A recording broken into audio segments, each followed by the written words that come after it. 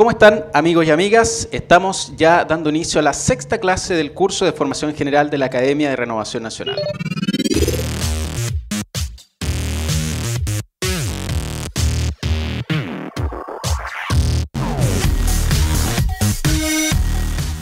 Hoy, para hablar de Chile y política contingente, nos va a acompañar quien ha sido protagonista eh, directo y ha estado en primera línea eh, durante el último periodo, ah, durante el gobierno del presidente Piñera, representando Renovación Nacional, eh, dentro del comité político, por ejemplo, y ha estado ahí dando la batalla en representación de nuestro partido. Nos interesa tener también junto a los históricos de Renovación Nacional, a los académicos también destacados que nos han acompañado, a personajes activos dentro de la política nacional y para eso nada mejor que uno de los nuestros, histórico dirigente de base de Renovación Nacional, que además es o fue primera mayoría en la comisión política del partido y hoy tenemos el privilegio que dirija nuestro partido en la calidad de secretario general. Invitamos a nuestro amigo Mario Desbordes.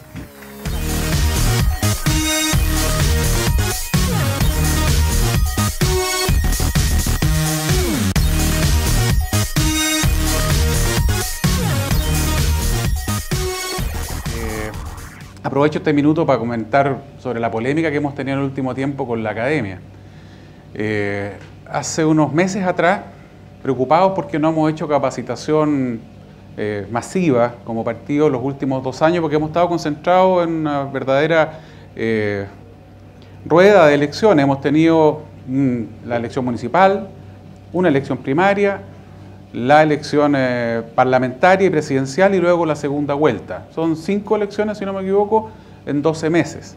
Eso es una montaña rusa para un partido político. Y eh, en ese contexto, eh, Luis Pereira, que es, entre comillas, joven, tiene más de 30 ya, militante del partido, nos planteó la posibilidad de hacer una capacitación a dirigentes con dos o tres gracias. Una, que empezara después de las elecciones. Dos, que pudiera capacitar gente en todo Chile a través de la, de la tecnología, ¿no es cierto? Y, tres, que tuviera un periodo en el verano que permitiera que sobre todo las figuras más destacadas, con más trayectoria, pudieran empezar dando el pie de, de, inicio, ¿cierto?, de esta academia, conversando con la gente que quisiera participar, no solamente jóvenes. Nosotros aceptamos la, propuesta de Lucho y estamos muy conformes porque lo que ha resultado hasta el minuto es bastante bueno. Yo lamento profundamente la distorsión que se produce a partir de una conferencia de don eh, Miguel Otero y el aprovechamiento que hace cierto un grupo de dirigentes nuestros que legítimamente decidió irse para eh, rayarle la pintura a nuestro partido, hablando en buen chileno, eh, a partir de la charla de Don Miguel. Don Miguel Otero jamás menciona CI, no habla de coeficiente intelectual, no habla de niños más o menos inteligentes. De hecho, se refiere a una, charla de Hans Eben, que es un especialista en marketing, que ha sido presidente de ICARE, en donde hace un ranking de posibilidades en la vida de la gente que tiene eh, un hogar, ¿cierto?, con padre y madre, padre separado, etc. Yo no estoy de acuerdo con lo que dijo Miguel, no representa lo que piensa Renovación Nacional, es muy discutible pero el asumir o pretender que alguien tiene un coeficiente intelectual distinto a si es hijo de madre soltera, eso es inmoral. Lo otro es discutible, y mucho. Yo, mi primera hija, que hoy día tiene 23, nació antes de que yo me casara, del primer matrimonio, o sea, soy separado, sí, tengo dos hijos de un primer matrimonio. Soy abuelo, tengo 45, fui abuelo a los 43, mi hijo de 17. Me hizo abuelo, no se casó con la mamá de la, de la Josefa, mi nieta, y por lo tanto, ¿qué más que yo podría estar en desacuerdo con lo que ha planteado don Miguel? ¿No es verdad? Entonces, ¿qué pasó ahí?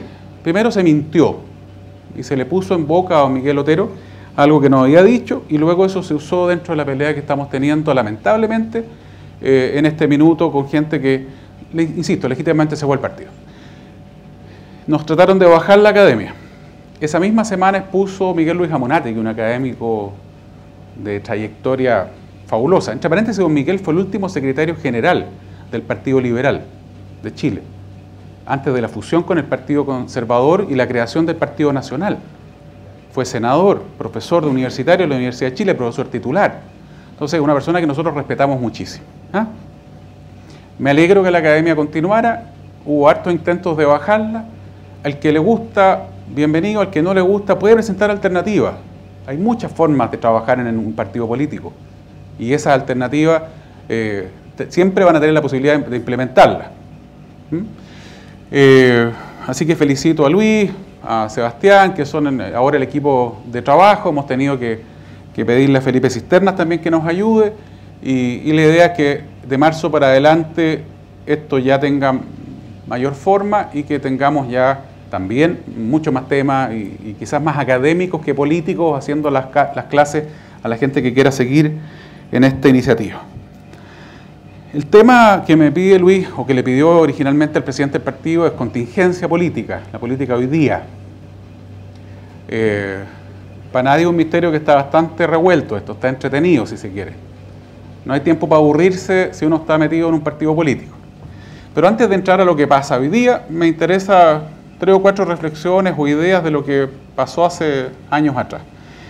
El 95, el 2005, el 2009 con un padrón de voto conocido, ¿cierto? con un padrón estático que se iba moviendo muy poco, que era el, de la inscripción eh, voluntaria y el voto obligatorio. Nuestro sector estuvo entre el 99, primera y segunda vuelta, 99-2000, primera y segunda vuelta, 2004-2005, primera y segunda vuelta, 2009-2010, que cuando logramos el gobierno, entre los 3.200.000 y los 3 millones y medio de votos. La nueva mayoría, en ese tiempo concertación, en la segunda vuelta, que es donde sumaron siempre al Partido Comunista, estuvo más o menos en los 3 millones y medio de votos también. 7 millones de personas votaban, mucha gente se quedaba en la casa y eh, nosotros decidimos, como sector, impulsar el voto, el voto voluntario en inscripción automática.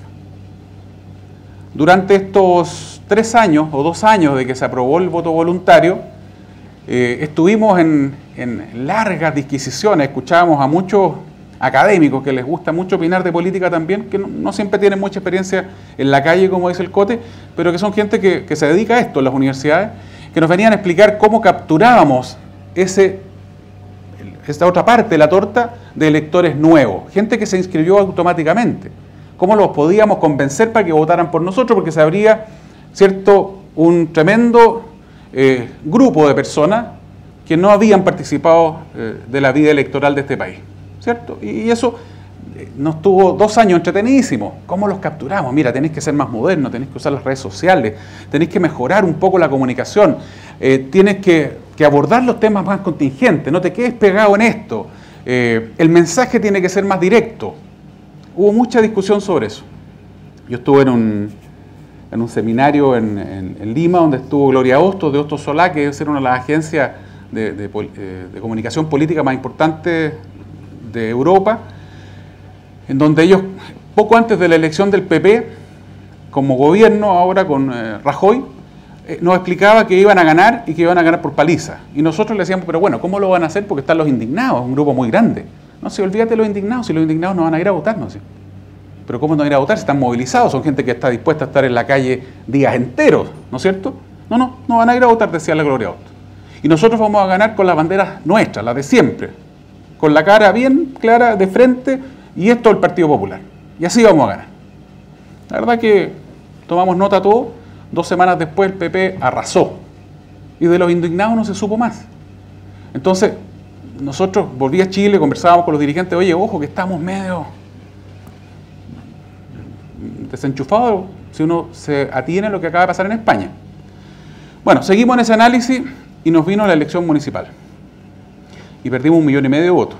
Supusimos que estábamos ante una situación coyuntural, que la gente se nos quedó en la casa, que no fuimos capaces de motivarlo, que el elector de centro derecha dijo, ¿sabe qué más? ¿Para qué voy a ir a votar si Pedro Sabat tiene la reelección segura? ¿Para qué voy a ir a votar si el alcalde Almendares de Cerrillo tiene la reelección segura? Todas las encuestas decían que Almendares sacaba 60% de los votos. Estábamos viendo si era mayoría nacional o no. Lo mismo que eh, el caso La B, que era muy peleado. Santiago Centro, la pelea era quién iba a salir en el balcón, ¿se acuerdan? ¿Y qué pasó en la elección? Las encuestas no sirvieron de nada, los que tenían champaña para celebrar tuvieron que tomársela para pasar las penas. Ahí dijimos, bueno, preocupémonos llevamos dos años discutiendo cómo captar electores nuevos y en vez de captar nuevos, sin darnos cuenta, perdimos los que ya teníamos. Algo hay que hacer. Este humilde partido, que es Renovación Nacional, dice, no habrá que preocuparse en nuestro horizonte electoral para el próximo año, hay al menos 10 doblajes. Eso dijimos nosotros. No sé si se acuerdan, pero nos dijeron que estábamos locos, que éramos irresponsables. Dijimos, el escenario más malo son 21 doblajes. El escenario bueno son 10 doblajes. Nos sacaron la mugre. No, están equivocados, estos callos están completamente locos, si no pueden haber 10 doblajes. Es imposible. Es imposible. No va a pasar eso. Ya. Dijimos nosotros si somos medios tontitos, no, no, no nos da para mucho más, no va a haber 10 doblajes. Nos distribuimos, el, nos distribuimos el peso de las candidaturas. Carlos Larraín dice, bueno, váyanse a los lugares más difíciles, donde hay más riesgo de doblaje. Veamos qué pasa. A, un mes y medio antes de la elección, entre paréntesis, fue una charla reservada de, la, de Libertad y Desarrollo, súper reservada. Habíamos 25 personas y exponen los cientistas políticos del LID que son bastante buenos, son gente súper capaz y yo los aprecio mucho por, por el trabajo que hacen. Y, concluyen, fíjate, después de un año de trabajo, que teníamos riesgo de entre 10 y 20 doblajes. Lo mismo que, que aquí se había concluido a las tres semanas de la elección municipal. Eso nos confirmaba el susto que teníamos. Insisto, la nueva mayoría nos sumó un solo voto nosotros perdimos muchos votos. Y, ustedes saben lo que pasó, o sea, Pedro Sabá tuvo que defenderlo con dientes y muelas, porque finalmente fue el Tricel el que permitió dar vuelta a la elección gracias a que teníamos apoderado. En el caso Cerrillo, el alcalde electo estaba tan seguro que no ganaba, que no tenía equipos de trabajo, no tenía conformado nada. Se, encontró con el triunfo que no esperaba. Las encuestas famosas se cayeron todas porque no pudieron dimensionar eh, esta, esta, paradoja que hay entre la gente que te dice voy a ir a votar seguro y lo que pasa al final del día de la elección. En paralelo, se diluyó la coalición por el cambio. ¿Quién se acuerda que era la, cuál era la coalición por el cambio el año 2009, cuando asumimos el gobierno? Yo fui jefe de avanzada del presidente Piñera, en ese tiempo candidato. Estaba RN, la UDI, Movimiento Humanista Cristiano, Flores tenía nombre ese. Chile primero. Eso al menos era la, coalición por el cambio. Chile primero presidido por Alberto Prej, un tipo brillante. Más bueno que el PAN, destacadísimo, para subsecretario, para ministro, para intendente, le sobran dedos para ese piano. No lo nombraron en ninguna parte. La Paola Cárcamo, secretaria general del Chile Primero, brillante, socióloga, súper capaz. No se le nombró en ninguna parte. Y Chile primero empezó a, desgranarse y a irse para la casa y se desapareció Chile primero.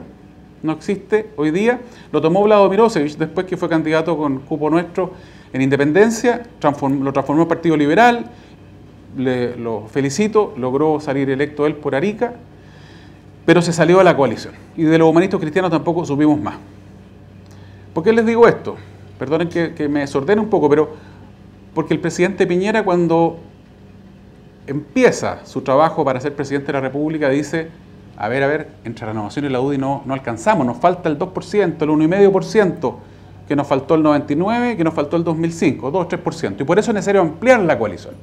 Y, la gracia de Fernando Flores era que había sido ministro de Allende, que estuvo en Dawson, que era un hombre que te, que te convocaba gente que estaba más allá de la frontera natural tuya, ¿no es cierto? Bueno, esa coalición desaparece. Nosotros hacemos un gobierno, yo asumí como subsecretario y quiero también aclarar de partida una cosa. Se nos ha dicho que este partido poco menos que fue oposición del principio, no es así. Si ustedes estudian o analizan o buscan o googlean las, las apariciones de los directivos de este partido, el 99% son para defender al gobierno y en los momentos más duros. Este gobierno ha sido muy buen gobierno en muchas áreas extraordinario, extraordinario. En economía, ni hablar. En empleo, el presidente le, decían en campaña que era imposible crear un millón de empleos, ¿se acuerdan? Y creó el millón de empleos. 900 mil lleva hoy día, aunque el presidente hablaba al 2014, ¿eh? se refería a cinco años, no, no en su periodo. Y se creó el millón de empleos. se logra implementar políticas que a nuestro juicio hacen la diferencia entre la izquierda y nosotros. Ustedes conocen o entienden la diferencia entre protección social y promoción social, ¿no es cierto? Estamos todos de acuerdo en eso. La izquierda, protección, que la señora esté bien, yo, es una caricatura lo que voy a decir, pero que esté calentita y cómoda en la media agua. La pobreza, pero digna, dicen ellos. La nuestra es, promoción social, es sacar a la gente de la pobreza. Y eso es el ingreso ético familiar, una herramienta revolucionaria. Tú no le dices a la persona, y tiene 40 lucas por ser pobre, todos los meses. ¿Qué es lo que en definitiva hace la, nueva mayoría y la izquierda? ¿Y qué es lo que recordaba la gente de Bachelet? Me daba 40 luquitas. Cada dos meses me llegaban 40 luquitas.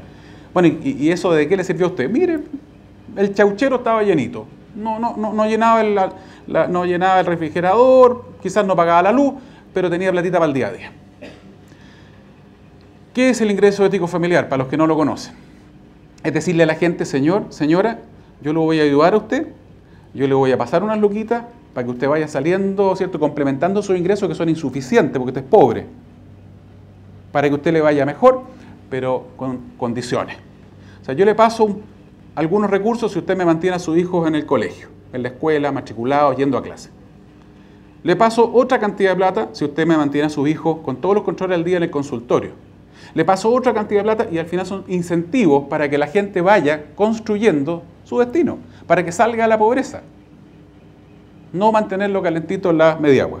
El 6%, el 7% que se le eliminó a los, a los pensionados, eh, el, postnatal de 6 meses, extraordinario. Yo tengo una guagua de 8 meses, en la mañana me tocó ahí de, de papá de, y de niñero, porque la, aproveché toda la mañana. Mi señora tuvo seis meses con postnatal. Maravilloso. Entre paréntesis, hay gente que nos decía que estábamos equivocados porque íbamos a desincentivar la contratación de las mujeres con eso, era una política social equivocada, nos decían los puristas del libre mercado. La verdad es que era un error porque las mamás igual estaban seis meses con licencia.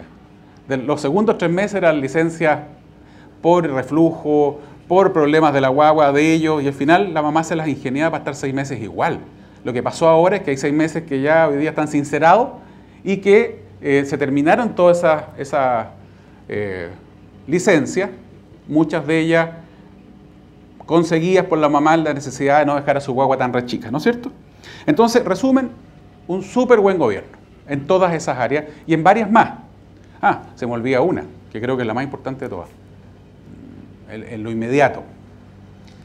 Me acuerdo una reunión con el presidente Piñera, yo era subsecretario designado, en ese minuto todavía no habíamos asumido. Eso fue el 26 de febrero. Y, estábamos todos, ¿se acuerdan que nos entregaron unos pendras y otras cosas más? Teníamos que revisar y explicarle al presidente cómo íbamos a implementar en nuestras áreas lo que el pendrive nos exigía.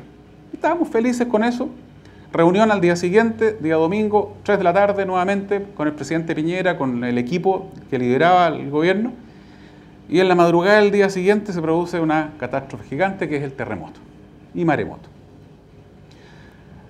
Reunión con el presidente en la tarde del día domingo, después de que él sobrevoló la zona afectada y nos dice, discutamos lo siguiente no me contesten ahora, veámoslo tranquilo. Vamos a cambiar el programa de gobierno y nos abocamos a la reconstrucción. Estamos viendo en televisión que esto es mucho más grande que el 85. No tiene parangón salvo el del 60 en cuanto al tamaño del terremoto, pero en la cobertura, la cantidad de daño, este es más grande. O nos creemos el cuento y cumplimos el programa y reconstruimos este país. La verdad que no tuvo que esperar el presidente porque todos, con él obviamente a la cabeza, dijimos, presidente, hay que cumplir el programa y hay que reconstruir. Un error para muchos. Yo creo que no. Para muchos es un error porque si nosotros hubiéramos sido más humildes y hubiéramos dicho, ¿sabe qué más? No, no, paremos un poco la cosa, yo no, me puedo comprometer con todo lo que le había dicho porque esto es una cosa nueva. Pero nos comprometimos a cumplir y a reconstruir. Y el gobierno reconstruyó. De manera ejemplar. Eh, Tocopilla es el ejemplo más grave de la ineficiencia en una cosa tan complicada como una reconstrucción y se reconstruyó y se reconstruyó bien. Al punto que hoy día estamos discutiendo si las familias de Dichato tienen derecho o no a arrendar las casas que se les entregaron y no si tienen o no tienen casa. En paralelo, obviamente, como toda obra humana, hubo errores. El primer gabinete eran puros técnicos, puros profesionales, pura gente que, tenía mucho mérito académico, no hay duda. Pero que por un lado no tenía sensibilidad en, en el día a día, más allá del aula, y por otro lado era gente que no estaba comprometida con el proyecto del presidente Piñera necesariamente. Me acuerdo de una ministra que dice en una entrevista el LUN, yo no voté por Piñera, nunca he votado por este sector y me sorprendió mucho cuando me llamaron para ser ministra de. Pero feliz me vine de ministra y aquí estoy. Duró un año ministra más o menos. En un desayuno con los ceremis de la región de O'Higgins, me acuerdo, estaba el intendente de la época. Eh, chiquillo, bueno, ¿cuántos de ustedes trabajaron en la campaña del presidente Piñera? Levantaron la mano de 24, dos. Ah, está bien. Ya, pero los 22 restantes fueron apoderados de mesa, no sé, ¿se la jugaron? No, no ninguno. Chuta. A ver, ahí ya me puse medio nervioso. La firme, ¿cuántos de ustedes votaron por eh, Frey? Uno, porque venía el gobierno anterior, lo habían mantenido como seremos. Dos, perdón. Tú sabes bien la realidad de la zona. Dos, habían sido confirmados del gobierno anterior. Bueno, entonces, ustedes, los 10 que están allá, que no, ni uno ni otro, no es que nosotros no votamos, no estamos inscritos, hasta el día de hoy, ahora automático estamos inscritos, pero no votamos. Ya. Se nos ha dicho que los partidos en algún minuto presumimos o quisimos ser agencias de empleo. Lo ha dicho la senadora Pérez, injustamente. La respuesta a eso no es que nosotros pretendiéramos ser agencias de empleo, pero los cargos de confianza son de confianza. Y si uno tiene gente bien preparada y bien calificada para ejercer ese cargo y además está con la camiseta puesta por el presidente, uno hace ese cambio, ¿cierto? Pone gente propia. Y así evitamos que nos pase lo que nos pasó durante todo el gobierno. Yo iba a ceremonias con el intendente, con un ministro de Estado, y no nombraban al presidente.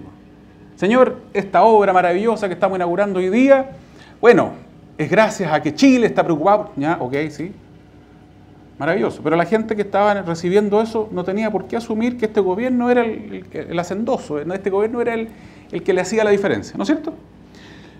Al revés. Muchas de las obras, la gente, la, nueva mayoría cuando se dio cuenta de esto, se las empezaron a adjudicar. Me acuerdo de una entrevista en CNN con un periodista brillante, que es, profesor además, de, eh, de X universidad, y él me dice, bueno Mario, pero los logros que tú me estás mencionando del gobierno como el postnatal de seis meses, Perdóname, pero el postnatal de seis meses es de Bachelet. Chuta, le dije, no, hombre, no, porque ustedes lo aprobaron, pero es un proyecto de ley de Bachelet. No, estás equivocado. Lo propusimos nosotros, lo ingresamos nosotros el proyecto y se aprobó en este gobierno. Ah, después me dijo en el off, oye, yo estaba convencido que este proyecto era de Bachelet. Periodista, profesor universitario y jefe del área política de ese canal, en ese minuto. Mm, amigo mío por lo demás.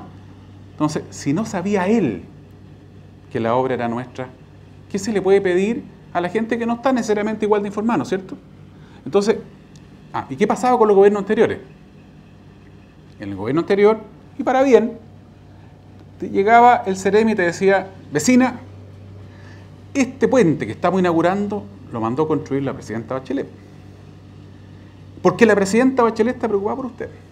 Porque la presidenta Bachelet vive y sueña por usted porque la presidenta Bachelet está muy consciente de que aquí en esta comuna pequeñita este puente no estaba. Entonces la presidenta me ha mandado a que la nombraran 20 veces. Está bien, pues si era una iniciativa de ese gobierno. Son recursos fiscales, son de todos los chilenos, pero se usan acá o allá dependiendo de la decisión del gobierno.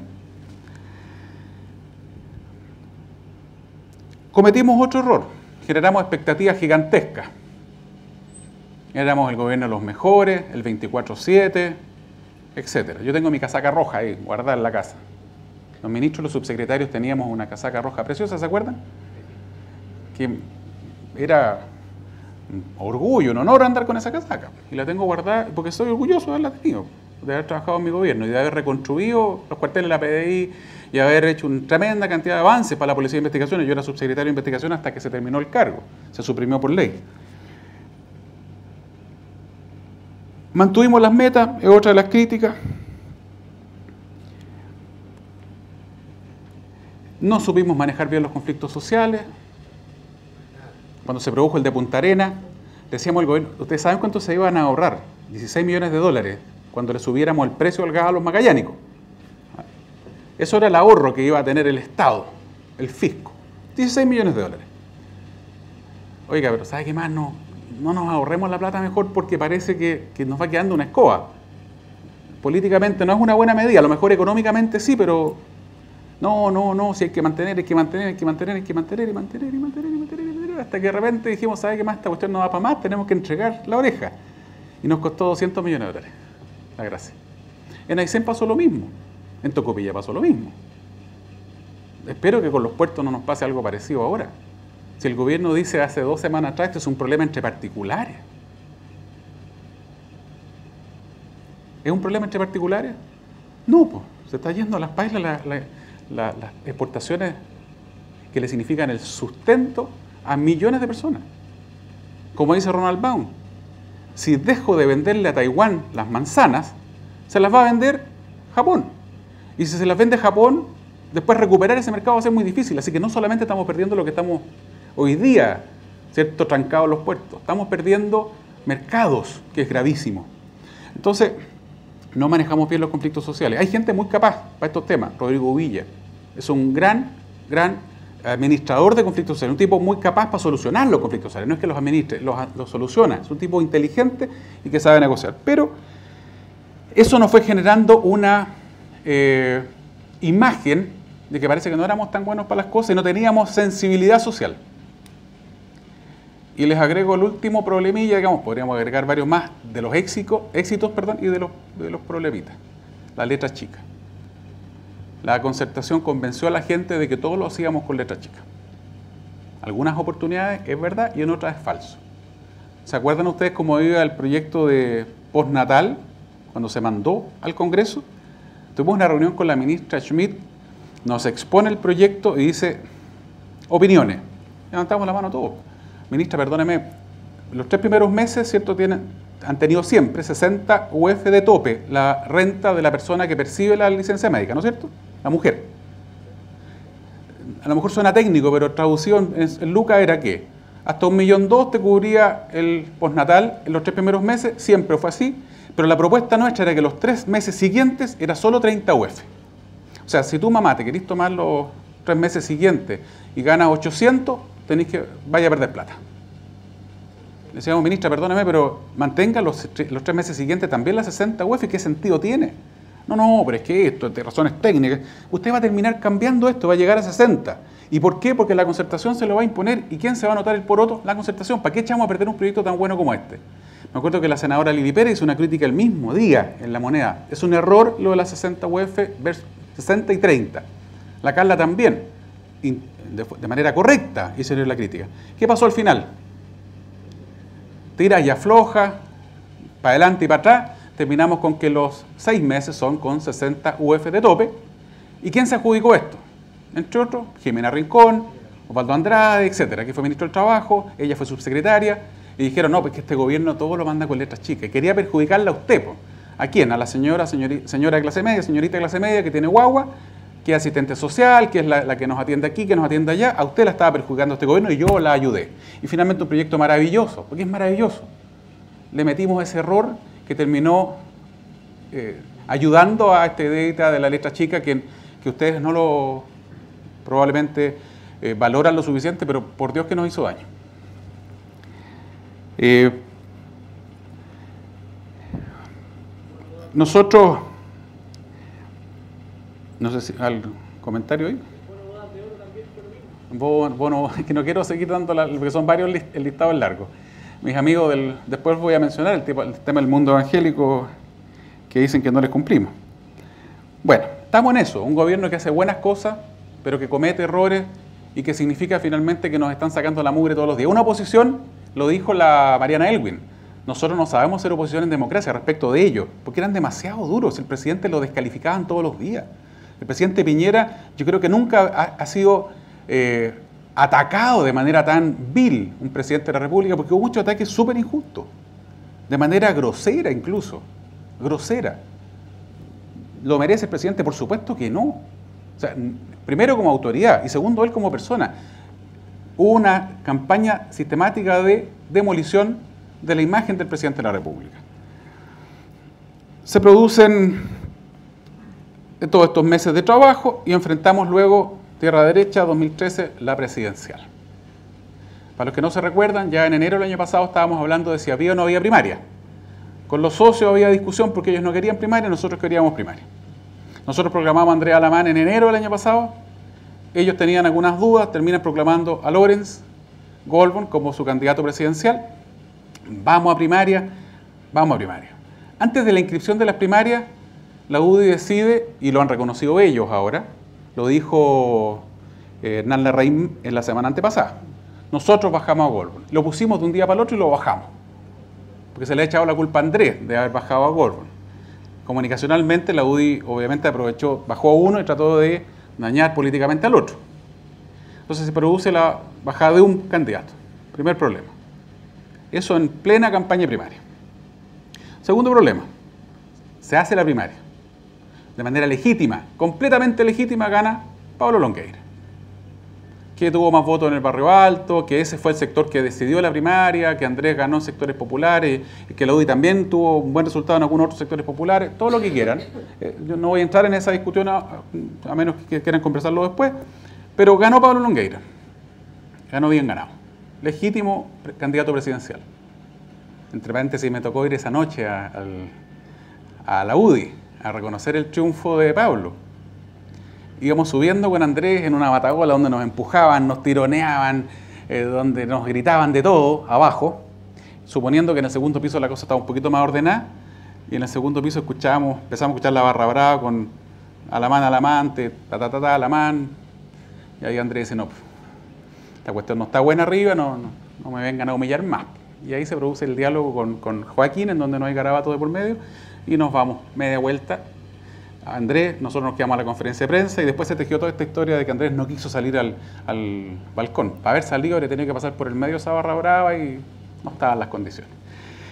Gana Pablo, 15 días después, 30 días después, ya ni me acuerdo cuánto. Pablo se enferma cosa que todos lamentamos. Le tengo aprecio a Pablo Longueira, le tengo cariño personal, lo he dicho en público. Mi hermano era su brazo derecho en la UDI. Mi hermano murió en un accidente aéreo, mi hermano fue presidente de la juventud y de los profesionales de la UDI y el, el 2010, en el primero de marzo, después del terremoto, muere en un accidente. Mi familia se fue al tierra. Me tocó a mí afirmar a mis papás, a mis hermanas, y Pablo me, llama y dice, Mario, encárgate de la familia, yo te traigo de vuelta a tu hermano. O sea, yo no puedo ser más agradecido a una persona que lo que soy con... O sea, creo que es muy difícil que alguien tenga mayores razones para estar agradecido a alguien como las que tengo yo para estar agradecido a Pablo Longueira. Así que ganó, lealmente lo íbamos a apoyar. Se nos enferma Pablo. ¿Qué es lo normal? Cuando el otro pierde por un 1%, 1,5%, que era lo normal, según nosotros, a lo mejor estamos equivocados, pero bueno, es lo que yo creo. Lo normal es que el que salió segundo, pero por tan poquito, después de que se pegó una recorrida por todo Chile, que calentó motor, etc., sea el que queda, ¿no es cierto? Ahí se produce una discusión con nuestros socios y ellos promueven a Evelyn Matei. El gobierno propone a Evelyn Matei y en una gran comisión política acá muy dura, finalmente se nos desgrana el choclo interno y los apoyos para Andrés plaquean dentro de algunos que, reciben el llamadito Palacio y queda Evelyn de candidata. Ok, fuimos al Consejo General, promovimos como directiva que se aprobara Evelyn y trabajamos lealmente por Evelyn Matei. El que haya estado en la cisterna del Bosque San Ramón y haya visto la propaganda del secretario general de RN que yo era candidato, nos doblaron, estaba con Evelyn Matei. Y en la segunda vuelta la Evelyn además me invita al comando entre los jóvenes. Yo sé que no, hace rato que no estoy de joven, pero, pero bueno, ella de hecho me hacían bullying por el Twitter de desborde entre los jóvenes. Ahí estaba. Y trabajé con ella con todo. Estoy súper agradecido a la Evelyn porque hace una semana atrás él fue a saludar al presidente y a la salida dijo, mira, yo tengo que agradecerle a mucha gente RN y dice Mario desborde entre ellos. Me saqué la mugre por ella, una persona a la que yo, la verdad, le tomé mucho cariño y nada que decir de la Matei como candidata. Entre medio, entre medio. Esto es contingencia, lo que fue pasando. Nosotros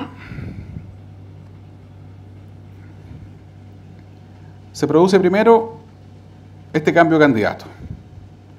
Luego, septiembre negro. ¿Qué pasó en septiembre? 40 años del 11 de septiembre del 73, del golpe, del pronunciamiento, como ustedes le quieran decir, me da exactamente lo mismo. El presidente no puede, el presidente de la República, sin hacer nada menos que conmemorarlo, es imposible que no lo haga. Es imposible que el presidente pretenda hacerse el leso, el presidente Piñera. Así que la, ceremonia que hizo tenía que hacerla. No puede menos que aludir a las causas y condenar con fuerza las violaciones a los derechos humanos. Es obligación del presidente. Afortunadamente el presidente además tuvo la precaución de contextualizarlo porque hay algunos que no les gusta que les recordemos que son autores de la destrucción de la democracia del momento que abrazan la vía violenta del 65 para adelante. Aquí los primeros carabineros asesinados no son el 74, son el 69, el 71, el 72. Aquí cuando me hablan del MIR como si fuera eh, Robin Hood, yo les digo, el MIR, cuatro o cinco miristas mataban un carabinero, mataron cuatro durante el gobierno de Allende para quitarle el arma. Carabinero solo y contra cuatro armados hasta los dientes, así de valiente. Bueno, el presidente hace eso, eso no lo podía evitar. Pero lo que sí podía evitar, y ahí creo que se equivocó su excelencia, primero, hacerle una crítica a la candidata en público porque votó que sí. La propia Evelyn dijo después en el programa de Mario Kreuzberger que el presidente se había equivocado en eso. ¿Para qué? ¿Quién critica a tu propia candidata en plena campaña? Tema de los cómplices pasivos. ¿Para qué? ¿Para qué? O sea, lo demás lo entendemos. Y agrega el cierre del penal que se pudo haber postergado, que se pudo haber realizado. Nadie está defendiendo a los violadores de los derechos humanos como ha pretendido en el último rato nuestros, nuestros socios de, o futuros socios de amplitud. No estamos en eso. No hemos pretendido justificarlo. Ayer conversábamos con Checho Irán en la Radio Agricultura y la primera vez que me toca a mí salir en un diario, porque a mucha honra, yo fui Paco, ¿cierto? Hay gente que sí, fui Paco, mucha honra, oficial de carabinero. Yo era subteniente, 12 de abril del año 89, dieron la tercera, portada. Portada ingrata. De pie, con hartos kilos menos, obviamente, el subteniente de desborde y en el piso asesinado el subteniente Amar, por el frente a Manuel Rodríguez. Mi amigo, compañero, hermano, y le tengo que tomar, llevarlo a la autopsia, entregárselo a su viuda y a su guaguita de este puerto. A mí no me vengan a pedir que al mismo tiempo de condenar las violaciones a los derechos humanos no le diga, ¿sabe qué? Pero igual me duele que estén impunes estos otros. Yo siempre he dicho, métanlos a todos presos. Si yo no estoy diciendo que dejen a nadie libre, que es lo que yo decía esos días, porque fui uno de los pocos que, abrió la boca durante septiembre. Y cuesta caro abrir la boca. Me costó recaro. Nadie pide que se deje impune a los violadores de derechos humanos. No, condénelo. Pero no me deje libre a los otros. Hay gente que cometió delitos del 11 de marzo para adelante, porque por último ya los del 11 de marzo para atrás te dicen, no, lo que pasa es que combatían una dictadura y en términos conceptuales están libres de culpa porque ellos estaban combatiendo una dictadura, tenían derecho a la rebelión. Ok, y los que cometieron delitos del 11 de marzo del 90 para adelante, ¿también tenían derecho a la rebelión en democracia? No, pues. Frente Lautaro, Autónomo, Manuel Rodríguez, mataron decenas de personas, gendarmes, carabineros, detectives, civiles, y están todos libres. Entonces a mí me molesta que estén presos uno y libres los otros. Métalo a todos presos. Para que el país empiece a sanar las heridas, métalo a todos presos. Esa era la discusión que teníamos esos días. Nadie pretendía que no se cerrara el penal cordillera para mantener los privilegios. De hecho, le dijimos al gobierno, agarra a la gente del penal cordillera, los traslada a Punta Peuco el penal Cordillera, transfórmelo en un penal como corresponde, póngale módulos, etcétera, y ahí devuelve a estos señores que la idea era que estuvieran cerca del hospital. Si hay privilegio, no corresponde. Ese era el mensaje nuestro. Pero, pero, pero, pero, finalmente lo que quedó era que había un sector que teníamos culpa. Yo, yo voté en el plebiscito. ¿Cuántos de aquí votamos en el plebiscito? Yo tenía 19 años para el plebiscito. ¿Cuántos votaron? Uno, dos, tres. Votamos tres personas, cuatro personas. ¿Ah? La Romina no, tú estabas ahí, acompañaste a tu mamá que te llevaba la mano. ¿Cierto? Sí. Llega la elección y es el peor resultado que tenemos en año. Por eso les daba los números al principio.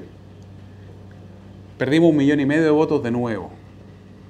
Un millón y medio de personas que había votado por nosotros, el 99 el 2005 y el 2009, esta vez no fueron a votar. Se disminuyó, otro voto. una vez, y eso lo cuenta siempre Andrés Alamán, eh, eh, decía Zapatero, los socialistas, cuando se enojan con, su partido, con sus dirigentes, no es que crucen a votar por el otro, es que no van a votar nomás. A nosotros nos pasó algo parecido. No es que la gente nuestra haya ido a votar por Bachelet, sencillamente no fue a votar. ¿Ustedes saben cuánto sacó Bachelet ahora?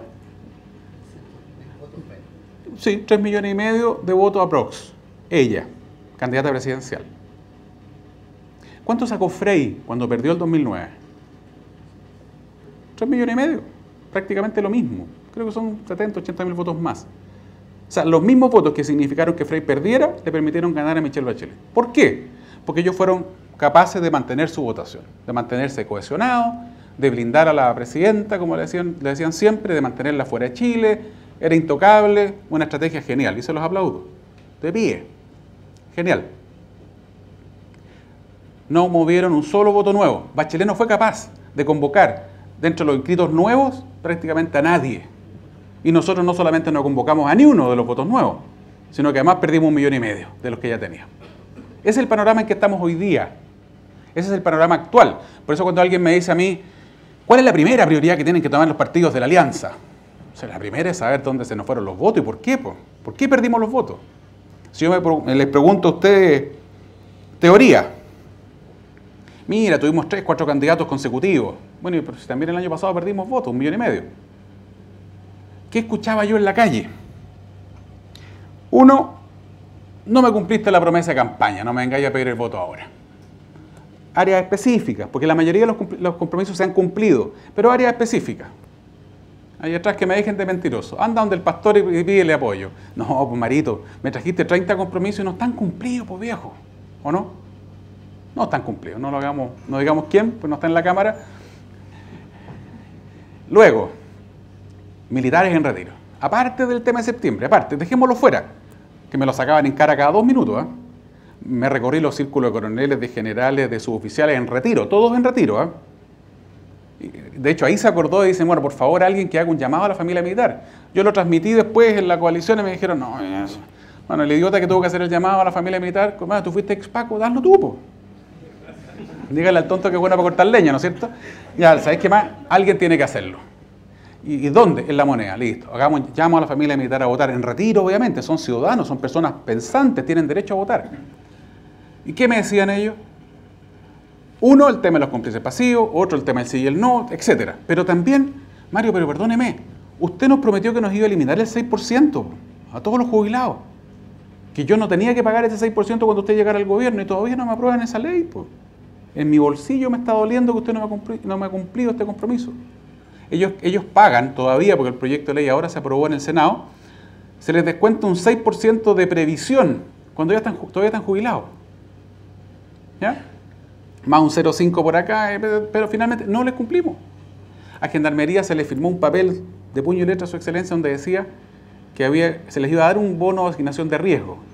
Dígame si no tiene derecho un gendarme que está metido sin armamento, en pilucho en términos de defensa, entre medio 1.200, 1.300 patos malos, si no tiene derecho a una asignación de riesgo. El presidente dio la orden 10 veces y recién ahora se está mandando el proyecto, después de las elecciones. Le pedimos al gobierno todo el año, dos años, rogándole, por favor, saque adelante el proyecto del 6%. Hay gente que le molesta esto que voy a decir ahora, pero, pero es la verdad. La mayoría de nuestros jubilados de la Fuerza Armada de Orden son gente que vota por nosotros, o votaba por nosotros. Votaba por nosotros. No me quiten ese, ese elector. No se trata de usar el Estado, ¿cierto?, como una herramienta para ir a comprar votos. No, se trata de otra cosa distinta, de que cuando yo voy a una elección para que me reelijan, lo primero que me va a decir la gente es, ¿qué me prometiste la vez pasada? Venga para acá. No, o sí, me cumpliste todo, voto por ti. Malas comunicaciones, la gente no asociaba los logros, como les decía recién, con la obra del gobierno. No, la gente no lo asociaba. Ah, nadie ha hecho mea culpa de los encargados de las comunicaciones, al revés. Hay uno que salió del segundo piso y anda pontificando por ahí. Eh, yo lo dije con nombre y apellido en su minuto, se me va a ir la batería. Eh, y bueno, y la más importante de todas, la más importante de todas las frases que yo escuché en campaña. ¿Sabe, compadre? ¿Sabe, compadre? Yo salga usted o salga ella, me da lo mismo. Yo me voy a levantar igual a trabajar, igual tengo que sacarme la cresta y para que mi hija tenga el colegio, para poder tener mi autito, mi departamento, yo tengo que sacarme la mugre igual salga usted o salga el otro. No tengo por qué ir a votar ese día. No hay ningún incentivo. ¿Por qué pasa eso? Porque la gente sintió probablemente que no hicimos la diferencia. Quizás muchos del millón y medio decían, oye, les voy a dar la oportunidad al 99, les voy a dar la oportunidad al 2000, les voy a dar la oportunidad al 2004 y el 2009. Y cuando ya logramos llegar, esa gente dijo, bueno, ¿fue tanta la diferencia? Yo creo que sí, ¿eh? yo creo que sí fue mucha la diferencia. Pero la gente quizás no lo percibió. No les llegó. No se sintieron, ¿cierto?, beneficiados. No sé, bueno, ¿sabes que entre la señora y la otra me da lo mismo. ¿Por qué nos pasó eso? Mea culpa. Decían los reyes que no hubo mea culpa. Bueno, sí, claro que aquí hicimos mea culpa discutimos harto. Primero, desconexión absoluta con los sectores populares. Nuestra, renovación, la UDI. Y el gobierno también. Ficha de protección social trancada durante dos años. ¿Quién trabaja en esa área aquí? Dos años trancada la ficha de ¿no, Mauro? Hasta ahora. Y la gente enoja con el gobierno porque tú ibas a la MUNI y ¿qué te dicen? ¿Quién es la culpa, ¿De quién es la culpa que la ficha de protección social no se haya implementado la nueva? Del gobierno. La gente más humilde, la gente más pobre, cuando tú le hablas de cifras de empleo, de quintiles, de deciles, te dicen, ¿de qué me está hablando? Mira, y se crearon un millón de empleos, maravilloso, pero ¿eh? ¿dónde voy yo? ¿Cómo voy yo ahí? Con la clase media ni hablar. La mayoría de los votos que perdimos, entre paréntesis, si uno los segmenta, son sectores populares, era voto de centro derecha popular. Bachelet, obviamente, fue un factor, logró mantener los votos propios. Y nosotros no solo, no solo los perdimos, sino que no convocamos voto nuevo, como ya he repetido hasta el cansancio. Postelectoral, para llegar a la contingencia actual, que quizás es la más entretenida por lo que está pasando en los diarios. La UDI sufre la principal derrota dentro de los dos partidos, ¿no es cierto? O la que tiene la derrota en términos parlamentarios lamentablemente, lamentablemente, porque son parlamentarios de la alianza al final del día. ¿Qué pasó en la UDI? Se sacaron los ojos, pero a puerta cerrada. Esa es la diferencia con nosotros, primera diferencia. El Consejo Nacional estuvo durísimo el de ellos, durísimo. Si uno ve la carta que mandó la diputada Nogueira con la diputada Salaquet, de cuero diablo, las palabras del senador Larraín, durísimo. esas las trascendieron. Pero sé que hubo muchas más, pero toda puerta cerrada. Primera cosa. Entonces la UDI al parecer no ha sufrido el mismo eh, remesón que acabamos de tener nosotros.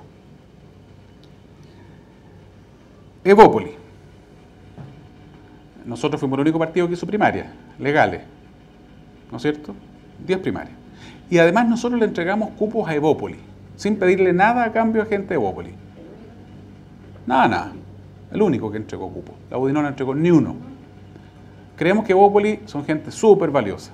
Ojalá se constituyan como partido político, eso lo voy a decir al final de nuevo. Ojalá les vaya bien. Pero por el momento no sumaron un solo voto nuevo. ¿ah? Por el momento, y esto está grabándose, va a salir, yo lo, he dicho, lo dije en Estado Nacional el otro día, se lo dije a Luciano Cruz Coqui, que es mi amigo. Por el momento el desafío de Bópoli no está cumplido, porque no trajeron más votos, no han traído más votos. Y se supone que ellos son el refresco en la política. con los votos nuevos. Sí, pero no hicieron gran diferencia. Y la, y la contradicción más grande de todas, por renovación sube el número de diputados, mantiene el número de senadores, ganamos las dos circunscripciones más grandes de Chile, Santiago, Oriente y Poniente. Y sin embargo, cuando uno le pregunta a la gente que no está muy informada, dice, no, es que renovación le fue como la pelota, pues están destruidos después de la elección. Chuta, no, no fue tan mal. Y uno dice, pero, pero ¿qué hicimos? ¿Dónde está el problema? Bueno, uno de los problemas probablemente, y como nada de, de calle yerco acá, las voy a decir nomás, uno de los problemas fue justamente que salió electo Osandón y Alamán. Había gente que estaba esperando brindar por la derrota de Alamán y Osandón. Es así. Y ganaron. Ganaron. Chuta, ese día las caras largas, que sé de varias, ¿cómo fue a ganar este gallo? Le ganó a Goldblum, si era candidato presidencial. mucha más plata en la campaña. Lorenz es un súper buen gallo. Yo le tengo estima, me llevaba re bien con él hasta que me hizo peor la propaganda como cuatro veces y se lo reclamé por Twitter la última vez, ya me aburrí. Pero es un buen gallo, no es un mal tipo, fíjate, para nada. Probablemente hubiera sido un aporte en el Senado, pero creo que es más aporte el cote. Patitas con barro, metido en la pobla, estuve con él en el bosque, estuve con él en San Ramón, como hablaba con la gente de tú a tú, y nadie le contaba cuento. Andrea Lamán ganó en 29 de las 31 comunas. Sectores populares, Cerro Navia, Paliza. La gente le cree. Entonces, ese fue el primer problema. ¿En, qué minuto estos gallos ganaron estas dos circunscripciones? Y ganan esos dos liderazgos horribles para algunos de Alamán y Osandón. Primer problema. Luego, se produce el resultado y hay dos frases de dos ministros que son súper malas. Los partidos políticos son los que tienen que ganar o perder las elecciones. El gobierno se dedica a gobernarnos, dicen la ministra de la CGGO y el ministro del Interior. Aquí las alarmas se prenden de inmediato, pues pucha, el gobierno nos va a echar la culpa a los partidos de la, de la derrota. Y convengamos que la culpa es de los partidos, tenemos culpa, obviamente, pero también hay una cuota importante, por lo que hablábamos recién, de todos nosotros en cuanto a, a gobierno. Somos gobierno todos juntos. Y el gobierno no lo podemos manejar los partidos, lo maneja su excelencia, da él las órdenes, tiene sus ministros, subsecretarios, y ahí hubo grandes problemas que nos significaron perder votos. Entonces, ¿qué pasa? Que Andrés, suavecito como siempre, dice, esto es así, esto es así. Fue una crítica muy dura la que hizo Andrés Alemán, muy dura.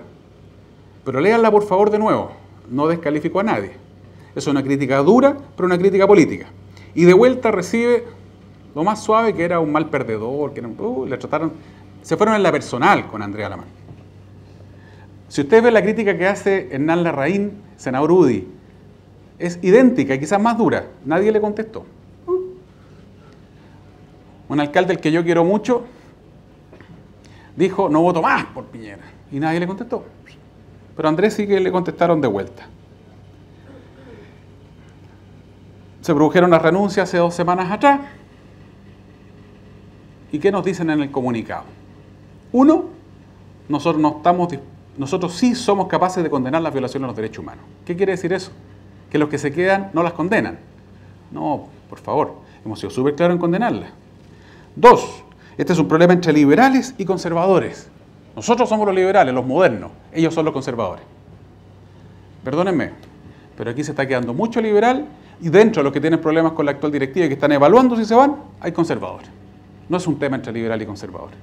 Yo no me considero, y a algunos les incomoda esto, ni liberal ni conservador. Tengo una postura X en un tema y otra que en una puedo pasar por conservador y en otra por liberal, porque no veo el mundo en blanco y negro. La única vez que ha sido invitado, que ha estado aquí, sentado en la Secretaría General, don Rolando Jiménez, director del móvil y amigo mío, fue conmigo como secretario general para ver el tema de la ABP. Carlos Larraín me dice el otro día, Mario, invitaste a Rolando Jiménez, sí. Ok, ¿de qué hablaron? De la ABP. Sí, ok, listo Mario, tú eres secretario general, tienes autonomía. Yo no estoy de acuerdo con la ABP, me dice don Carlos. Y yo sí puedo, don Carlos. Ok, cero drama. Luis Larraín, de Fundación Iguales. Aquí, en la Secretaría General, con desborde. Ah, soy súper liberal, yo no estoy de acuerdo con el matrimonio homosexual. Ah, que soy conservador entonces. Chuta.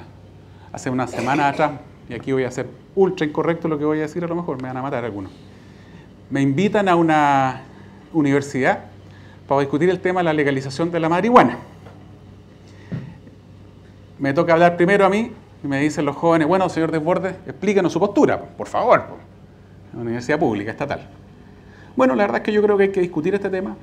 Es súper importante analizarlo sin vendarse los ojos. No es posible que sigamos pretendiendo criminalizar el consumo de marihuana, porque creo, sinceramente, que hay un peligro gigante en que la gente que consume marihuana vaya a comprarle a un traficante que le va a tratar de vender otra droga dura.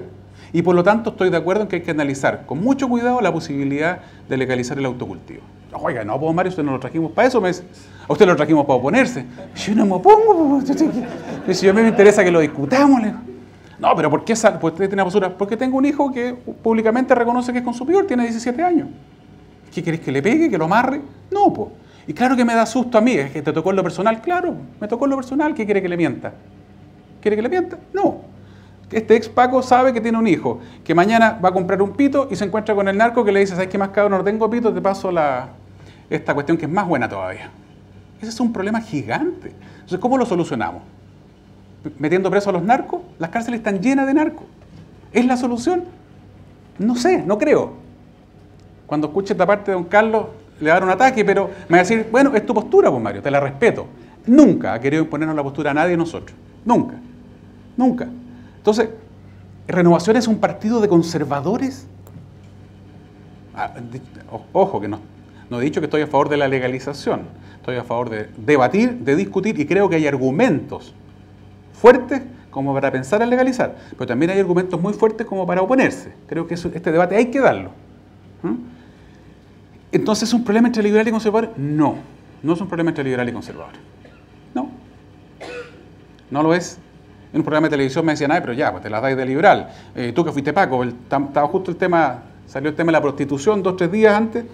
Yo estoy a favor de legalizarlo. Hay que legalizar, hay que, hay que ordenar este tema. Chuta, pero ¿cómo ordenar? Sí, pues yo trabajo en Talca, no sé si ustedes conocen Talca. Tiene un barrio rojo de cinco cuadras. Todos saben que en la 10 Oriente funciona prostíbulo, cinco cuadras completas. Y toda Talca está consciente de que es un barrio rojo y ahí está circunscrito el tema. El problema es que la gente que trabaja ahí no tiene imposiciones, es explotada, etc. Entonces yo creo que hay que legalizar, ordenar y ustedes me dirán, ¿y las prostitutas van a pagar impuestos? Sí, pues, y van a tener cotizaciones, pero obvio, pues están trabajando. Usted me dice que eso es inmoral. Chupaya, pero si existe, no lo vas a poder eliminar jamás. Existe desde siempre. Desde siempre. Si tú pretendes que lo vas a impedir por ley, estáis muertos. Si lo que tenéis que hacer es ordenar esta cuestión y que no, abusen de esas mujeres y hombres también. Entonces, ¿es de liberal y conservador esta cuestión? No. No es un problema entre liberal y conservador. Nuestros amigos de amplitud. Yo les deseo éxito a la gente de amplitud. Lo único que les he pedido públicamente y en todos los tonos, terminen con atacar al partido. ¿Hasta cuándo siguen atacando a Renovación? Si tienes derecho a irte, nadie te puede obligar a estar acá. Si aquí este partido tiene espacio suficiente para ellos. Tenemos un Consejo General programático. Por primera vez en 25 años. Discutan adentro. Si no les parece, está la Comisión Política. Pero si con todo igual se quieren ir, no los podemos obligar. Ahí lo único que yo pido, póngase a trabajar al tiro lo que usted quiere construir, el nuevo referente. Ojalá le vaya bien, que sea capaz de traernos nuevos electores y que entre todos construyamos una nueva alternativa, ¿no es cierto? Eso es lo que uno les plantea. ¿Qué se viene? Para ir terminando. La lata está. Uno, ellos, el gobierno que empieza el 11 de marzo. Primero, van a tener que ordenarse, ordenarse en cuanto a las expectativas que tiene cada uno. Yo tengo amigos de C, PPD, y ahora último, he hecho una buena relación, no puedo decir que soy amigo, no, no me atrevo, pero le tengo, la verdad, admiro incluso a gente como la Carol Cariola. Inteligente, inteligente, bastante trabajadora y va a tener un liderazgo estos próximos años que estoy seguro bastante fuerte. Estoy en desacuerdo con prácticamente todo lo que dice la Carol Cariola, pero eso no significa que no tenga, por una cuestión de cultura cívica, la capacidad de sentarme a la mesa y escuchar y debatir, ¿no es cierto? Pero ella quiere una cosa y la DC quiere otra, y el PPD quiere otra. Y por lo tanto, la primera pega que tiene la presidenta electa es tratar de ordenar esta cuestión porque lo que se ha hecho hasta el minuto es meter debajo de la alfombra las diferencias de la nueva mayoría. Hasta el minuto nadie ha zanjado los temas. ¿Qué vamos a hacer con la constitución? Constituyente, dice la Carol. No, pues dice la ADC. Aquí no hay espacio para una constituyente. No estamos de acuerdo. ¿Qué vamos a hacer con la educación? pública, gratuita y de calidad, para todos. Y la gente la dice, no, pues, no estoy de acuerdo, vaya a terminar con los particulares subvencionados. Entre paréntesis, ¿eh? ¿Cuáles son los errores que cometemos nosotros como, como sector cuando discutimos, cuando debatimos, cuando defendemos nuestra idea? Que se me olvidó decirlo. No defendemos bien nuestras posturas, todos.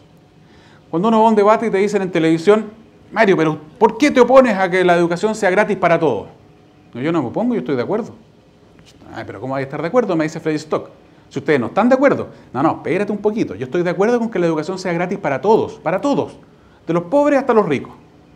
Lo que yo creo sí es que antes de, pagarle la educación a mi hija, porque yo se la puedo pagar, esperemos a tener las lucas suficientes para que haya salud en los consultorios de buena calidad, para que nadie tenga problemas de vivienda, para que no haya llegado, para que no haya campamento. ¿Cierto? Para que la educación en general para la gente más pobre sea de calidad, no como es hoy día. Y recién cuando hemos solucionado todo eso, bueno, ahí le damos la educación gratis a la gente que tiene plata. Ahí sí. No, pero es que me estáis agarrando para el deseo entonces, porque me estáis diciendo que no ahora. No, ahora no, pues sería ridículo, pero que estoy de acuerdo, estoy de acuerdo. ¿Quién se puede oponer? Si cuando uno ve la encuesta, ¿está usted de acuerdo con la educación gratis? Sí. 90% de la gente. Obvio. ¿Está usted de acuerdo con que el Estado le financie el estadio? Claro que sí, pues. Feliz, pues. ¿Está de acuerdo con el Internet gratuito para todos? Sí, pues. Estoy de acuerdo. ¿Quién va a estar en contra de eso? Por favor. Y en general, la pregunta siempre no es que tenga una pillería, es que es de una, obviedad gigante. Entonces después nos salen a discutir públicamente, no, que pasa que ustedes no están de acuerdo con lo que la gente pide. No, pues si la gente no es que te lo esté pidiendo, la gente es consciente de que lo quiere, pero sabe que todavía no se puede. Y ahí es donde nos falta de repente la agudeza a todos para hacer la diferencia. El lucro, nos instalaron el concepto del lucro y no fuimos capaces de salir de ese zapato chino. Hablamos de la legítima ganancia. Legítima ganancia. Entre paréntesis, nuestra gente de, de, iguales dice, en este partido hubo gente que votó en contra de proyectos del gobierno, y citan el de la ABP, que entre paréntesis Nicolás Monque también lo votó en contra. Bueno, nuestra senadora Lili Pérez votó en contra de los proyectos de educación de su excelencia. No son proyectos de rehenes, son proyectos del gobierno. Nosotros no le dijimos nada a Lili, aparte del aprecio personal que yo siempre he tenido, es porque nosotros respetamos su postura. Pero ahora parece que somos todos malos, somos antisemitas, somos no sé qué. O sea, aquí que se hable de antisemitismo, perdón. Nunca ha habido problema con eso. De ninguna, para ninguna religión, para ninguna etnia, nada. No soy precisamente rubio de ojos azules. Para la gente, eh, clasismo, dijo la, la Lili. por favor. Alguien puso en una carta a un diario la semana pasada en que otro partido político puede ser secretario general alguien que fue Paco y que estudió en escuela y liceo con números. Es verdad. Eso decía el Mercurio. No conozco a la persona, pero es real, es real eso. ¿Soy el negrito de Harvard? No. Vengan a mirar, pregúntenle a los dirigentes, hablen con los alcaldes. Aquí se pararon el Consejo Nacional concejales, alcaldes, cores, que decían, yo fui cargador en La Vega, yo trabajé en la feria, mi madre era asesora del hogar, gente que estuvo aquí el sábado pasado y hoy día tiene cargos importantes. ¿A quién le importa eso entre partidos? No nos interesa, nadie le pregunta por eso. Se trata de las capacidades de cada uno. El alcalde de Cerro Navia, Mario Alvear, eh, concejal primera mayoría de Quilicura y varios ejemplos más. La presidenta Bachelet va a tener problemas internos en cuanto a modular las expectativas dentro del conglomerado, porque Girardi quiere una cosa bien distinta de lo que quiere Walker. Y luego las expectativas sociales, porque la gente se ha hecho muchas expectativas, muchas expectativas. Al final trataron de modularlas, trataron de echarse un poquito para atrás. Álvaro Elizalde, me tocó muchas veces discutir con él en sentido de, debatir, digamos es bastante cómodo debatir con Álvaro porque no es un, no es un tipo prepotente, parece muy duro siempre, pero no, no, no lo es. Y al último minuto trataron de, de, achicar un poco las expectativas, pero no les resultó. La gente está esperando que aquí, al día siguiente, llegan los bonos, llega la, la maravilla, la alegría viene.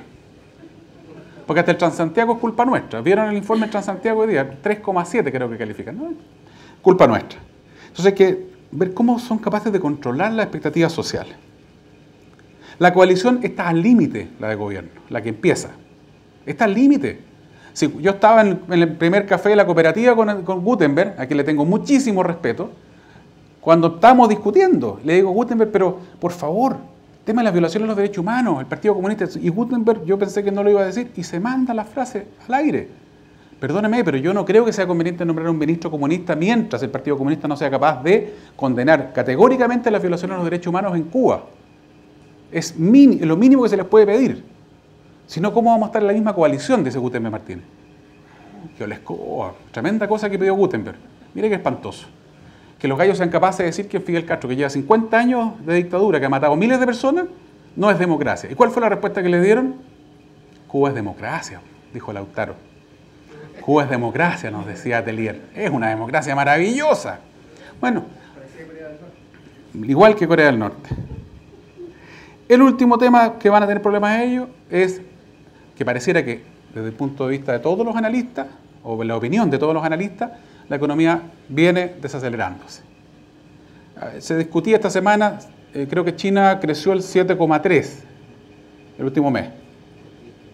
¿Cierto? Bajó del 9 y tanto al 7,3, pero eh, se había esperado menos crecimiento, un 7,0 o un 7 pelado versus 7,3. Eso significa que no está tan fuerte la desaceleración de los chinos. Y es una tranquilidad para todos nosotros. A mí no me interesa que le vaya mal al gobierno que viene. Porque si le va mal al gobierno, en lo económico sobre todo, los que van a sufrir van a ser la gente que más necesita. Y no necesariamente eh, eso es beneficioso para nosotros. Los otros, como decimos acá, porque está la nueva mayoría, está la coalición y están los otros. Los otros son los que acaban de ganar la FECH, los que acaban de ganar la FEUC, los que acaban de ganar, y les empiezo a nombrar, cuando uno habla con los dirigentes del PC, te dicen, nosotros hemos perdido todos los centros de alumnos. Entonces, ¿los ganamos nosotros? Yo empiezo a revisar, ¿los ganaron los cabros nuestros? No. No, los ganaron los que ellos denominan los ultras. Los anarcos, decimos nosotros. Todavía no somos capaces de explicar bien en qué consisten probablemente. Pero son cabros que tú te paras al lado de ellos y te dicen, no, no, no, a mí no me venga a decir comunista, señor. Yo no soy de derecha. ¿Cómo es eso? Te estoy, diciendo literal, ¿eh? de verdad. Pero ¿cómo es eso? No, los comunistas para mí son de derecha, son burgueses. Ellos, yo soy revolucionario, yo soy de izquierda el PC, el PS, toda esa gente son burgueses de derecha. Ellos son los que han ganado todas las federaciones ahora. Por lo tanto, los otros van a tratar de pelear por mayor protagonismo. No están ni ahí con el gobierno. Están hoy día dominando la mayoría de las universidades, sobre todo las públicas. Por lo tanto, no es fácil lo que se viene por ahí.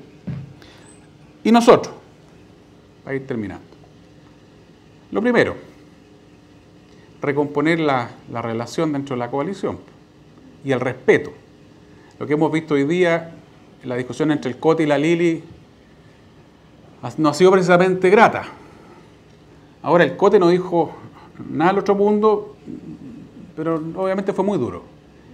Pero la Lili también se ofendió muchísimo. Yo le, yo le decía hoy día a dos de los que trabajan con ella, oye, es menos fuerte que lo que nos dijeron nosotros, que éramos antisemitas y que éramos discriminadores. Paremos la cuestión.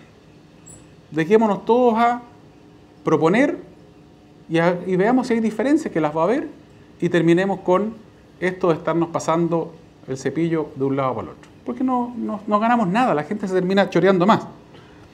Entre paréntesis también, había gente que uno le dice realmente en la calle, no, que ustedes pasan peleando. Eh, oye, eh, en, la, nuestro, nuestro, sector eso es la historia permanente de la, de la coalición. Así que no es que hayamos peleado más estos últimos peleamos menos. Horrible lo que estoy diciendo, peleamos menos. Con vergüenza lo digo. Este partido, yo me acuerdo del 2005, 2006, yo estaba, los profesionales del partido nos convocaron a una reunión urgente, estaba Rodrigo Gispete, el secretario general, y nos pide apoyo para ir a esperar a Sebastián Piñera al aeropuerto, porque había sido muy maltratado el día anterior por el senador Romero, quien a su vez había sido pasado al Tribunal Supremo por, por, Piñera. Hoy día uno es embajador en España y el otro presidente de la República. Ese era el ambiente. No, no, no, no, no vengamos con que hoy día está la escoba. Hay que construir una coalición nueva. RN y la UDI no dan abasto, no alcanzan para ganar una presidencial. Y ojo, que tampoco nos alcanza para ganar las municipales. Se nos viene una municipal. Y para ganar en elecciones uninominales, que son las de, las de alcaldes y de, y de presidente de la República, no alcanza renovación y la UDI solos. Hay que construir, ampliarnos. ¿Quiénes? Primero el PRI, ojalá se nos incorpore. Dos elecciones consecutivas, 7% en las municipales. Y en la última elección de Core, casi 7%. Evópoli, ojalá se constituya como partido político. Eh, la gente de amplitud, si se constituyen, si crecen, si... ni un problema. Ni un problema. Obviamente, encauzar estos liderazgos que tenemos la mayoría en esta casa frente a la elección presidencial que se viene. Valdo Procuriza, muy amigo mío, decía, soy el único senador junto a Pepe García del 11 de marzo para adelante que no tiene aspiraciones presidenciales de renovación. Los otros seis, porque en ese momento la Lili todavía estaba ahí, tienen aspiraciones. Está la Lili, está Espina, está Alamán, está Osandón y se me va alguien, Chaguán. Todo presidenciable. Todo presidenciable. Y su excelencia, el presidente de la República actual, dice que no sabe como le dijo el chino al piano, no te creo. ¿No es cierto? Sí tiene ganas. Tiene ganas. Si hay que sincerarlo después y punto. La UDI, Ditbor les dijo, tienen que parar liderazgos presidenciales. Si no puede ser que Renovación tenga cinco y nosotros ni uno. Va a haber también del lado de ellos. Entonces hay que ver cómo logramos que esos liderazgos se potencien, crezcan, ¿cierto? Cómo son capaces de convivir sin fagocitarse, sin destruirse unos con otros. La gran rosca con la moneda es porque tenemos esos liderazgos. Entonces la tentación de destruirlo ya está demostrado, porque eso es lo que ha pasado esta última semana, se traduce finalmente en unas zancadillas que son impresionantes. Y en renovación, nosotros tenemos elecciones, somos un partido medio bruto que elige un militante un voto. Los socios, con todo respeto, que esto está grabado, estimados socios, los quiero mucho, tienen un consejo general donde entre 300 personas eligen al presidente del partido. Nosotros la elección más chica, más rasca, votan 14.000. Van a votar 20.000, 25.000, si es que ahora tenemos elección competitiva. La pregunta del millón, ¿es Alamán, es Monker, es Procuriza el que va a presidir? No sabemos. Ese no es el punto. El punto es quién es capaz de conducir este partido, fortaleciendo todos los liderazgos, dándole garantías a todos los liderazgos, sin estar entregándole la oreja a uno en particular y ponerle palito en el camino al otro, cuidando este partido diverso, si este es un partido diverso. Los que no lo saben, les cuento, Renovación lo, lo construyeron, lo constituyeron, lo formaron. Liberales, conservadores, nacionalistas y radicales. Mi padrino es Pedro Daza, fue Pedro Daza, falleció. Don Pedro era radical. Entonces esa diversidad, que es el principal activo para muchos, a veces se transforma en el principal problema de, de renovación. ¿Cómo somos capaces de mantener esa diversidad? De que se note y al mismo tiempo, y al mismo tiempo, de cuidar todos estos liderazgos, de cuidar este pobre partido. ¿Qué es lo que vamos a tratar de hacer en el Consejo General Programático, que es el otro tema que tenemos al frente? Construir un consenso en torno a una declaración de principios nueva. ¿Se va a eliminar las referencias al gobierno militar o dictadura o va a decir dictadura? No lo sé, eso lo vamos a ver entre los consejeros. Va a abrirse a la posibilidad de, qué sé yo, algunas, eh, ya no, voy a ir en detalle mejor, pero se va a abrir algunas cosas, probablemente, no lo sé, eso lo vamos a ver entre nosotros. Pero lo que tenemos que construir es un mínimo común denominador. No podemos estar todos de acuerdo. Les acabo de contar eh, cómo con don Carlos hemos estado en desacuerdo en, temas que son importantes. Pero Carlos Larraín me dice, no importa Mario, yo, aquí lo que me interesa es que estemos de acuerdo en temas centrales que nosotros denominamos el mínimo común denominador. Estamos por la democracia republicana y representativa. No estamos por el plebiscito como cosa permanente, creemos en la democracia y creemos en este sistema que tenemos hoy día. Eso es, una de las cosas. Ahora, si dentro de eso a ti te gusta el parlamentarismo, el presidencialismo, el semipresidencialismo, eso es un tema que no es de principio. Lo, de principio es la democracia. Estamos por la vida, de la concepción hasta la muerte natural, prácticamente todo, incluso los que se acaban de ir. ¿Cuál era la diferencia con la Carla? ¿Cuál es la diferencia con la Lili? Nosotros estamos todos de acuerdo en que si hay que salvarle la vida a la madre, hay que actuar. Y si ni Dios lo quiera, en ese ejercicio de salvarle la vida a la mamá, se muere la guaguita, eso se llama doble efecto o efecto no deseado. Tú no quisiste provocar el aborto, se produjo porque le tenías que salvar la vida a la mamá uno está consciente de que eso es ético, eso uno, está de acuerdo con eso, está de acuerdo, está a favor de que se le salve la vida a la mamá. Hasta ahí llegamos varios. La Carla agregaba el feto anancefálico, que es un feto que no tiene, según los médicos, opción de vivir. Nada más que eso. La Carla decía, yo no estoy de acuerdo en el caso de violación, a menos que ahora no creo que haya cambiado opinión. esa era su postura. Entonces, tremendas diferencias no había en eso el, del efecto anencefálico, que también lo planteó la Matei, obvio que es analizable y es discutible. El punto es que cuando uno legaliza el aborto, siempre te dicen es que aquí se producen 200.000 abortos. En los países que lo han legalizado, siempre el discurso de los pro-abortos es, son 100.000, 500.000, cifras gigantes. Pero cuando se legaliza, y está el ejemplo de México, está el ejemplo de Uruguay, hay muchos ejemplos. Resulta que son 15.000, 7.000, Así cambia la cifra. No era tanto. No, es que lo otro era para decir que tantas mujeres están en riesgo todo el año. Era mentira. Y lo otro es que cuando tú abres esta ventanita del caso de la violación, al violador hay que castrarlo químicamente si es necesario. Químicamente, si es necesario. Al violador hay que castigarlo. A la mamá hay que ayudarla, hay que darle todo el apoyo, todo el soporte. Pero ¿qué culpa tiene la guagua que, que es inocente, ¿no es cierto? Esa es la discusión nuestra.